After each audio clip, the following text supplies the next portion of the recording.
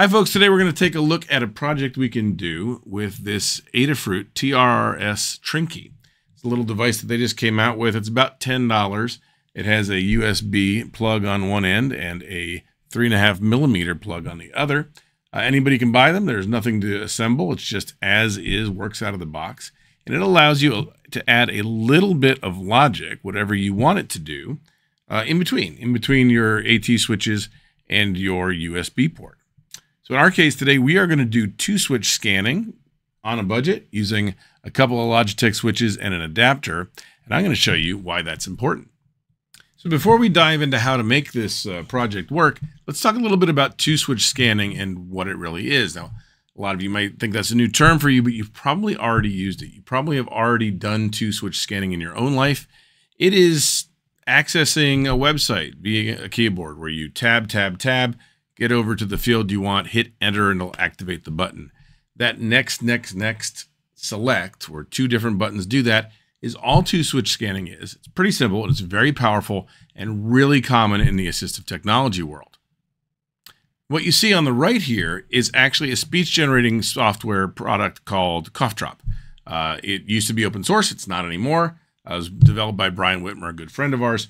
And um, this system is used when somebody wants to be able to communicate but is nonverbal, can't access their their voice um, the way they'd like to. Um, it allows them to select the symbols on the screen and it will produce the words. Have you ever seen uh, Stephen Hawking? He used a, a speech generating device. Uh, that's what these look like. And the one that I'm looking at here on the right, I'm going to show first how you do this with a mouse. You'd use your mouse and you'd say, let's say I wanted to say something simple like, I like you. You say, I like, like you. you. And if I click up here, I like you. it'll say the sentence. Now, I'm really slow with uh, with speech generating devices in general. There are people who are super fast with them. Our good friend Chris uses this at night. Chris, Chris Young uses this at night uh, when he's on on his vent, um, and it is a very powerful tool for people who really need it. But if you can't use the mouse, how do you access a system like this? Well, they have what's called row column scanning or two switch scanning. And I'm going to show you how that works. All right, let's make that same uh, statement. Uh, but this time we're going to use two switch scanning. So the B button here is my next button and the A is my select. So I'll hit next, next, select. That puts me on the row. If I hit next, I'll go all the way across until I get to the one I want. I want I. Like. Like. Go down to select, select. You. I like you. If I want to say the full sentence, I will move over to this field. I like you. I like you. All right. Now, that might be, seem clunky. It might seem slow, and it kind of is. But for people who use this, they get very fast with it. And there are all kinds of optimizations in terms of the order of the scanning, the scan patterns, things like that that folks use. Um, but step one is you need to be able to get two switches into the system like CoughDrop and have them recognize the switches as such. And that's what this little project does. All right, let's go ahead and assemble this. This is a solder-free, really simple uh, project. Here is my TRS Trinkey. I'm going to take this stereo splitter. It takes a TRR, it takes a TRS jack, a plug, excuse me. It's a tip ring sleeve. There's a standard stereo connector and it's splitting it out into left and right. So this is a standard stereo to mono splitter. And we're going to use that by plugging it in here. And then we're going to take the uh, white plug, and I'm going to plug my A switch into it. I take my B switch, plug into my red plug, and that's all there is to it on the hardware side, right? That's all the wiring we need to do. Um, the next thing we have to do is to load up software onto this device, which is written in Python, that will actually read these switch presses and convert them into keystrokes. Now, once it's sending keystrokes, it's fairly simple to get CoughDrop to read keystrokes and act as uh, treat those as switch inputs.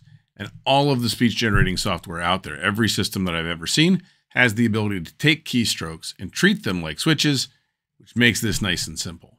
Now, some of you are probably thinking, I don't have a problem speaking. I don't need a communication device. Why would I care? But a lot of you might, if you have disabilities, might be saying, I want to be able to control my iPad, my iPhone, my Android, my Mac, not your Windows, at least not with other software, because Windows doesn't include scanning, which is really strange. But if you want to control, for example, your iPhone, like mine here, um, it has built in scanning software. We're going to take this exact same setup, the same that was just plugged in. I haven't changed the programming at all. I'm going to plug it into this on the go adapter right here. And this is going to convert this USB into a USB-C, which is what this iPhone 15 wants. And so now if I hit my next button, you'll see it's moving through all of my options and I can select one. So let's go here into notes. So I'll hit select and you'll see that it's breaking this down more efficiently. You'll notice it's going through it section by section, right? So let's go down here to notes and it says hi because I was testing this earlier. But let's uh, let's say hi there. So we'll type in there. We'll hit next, next, next, next. It will get us down to the keyboard. We hit next. Let's go down to a space.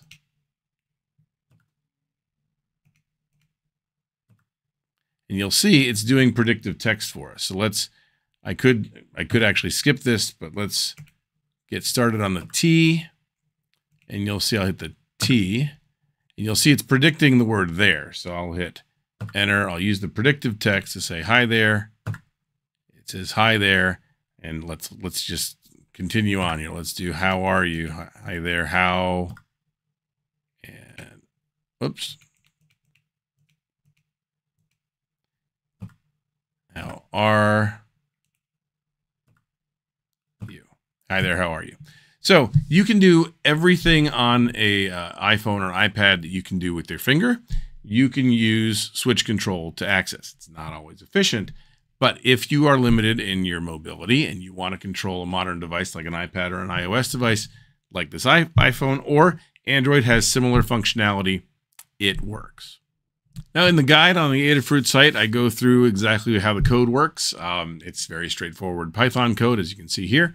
Uh, you load it up on the machine. It just works. It uses their CircuitPython system, which is incredibly powerful and very easy to use.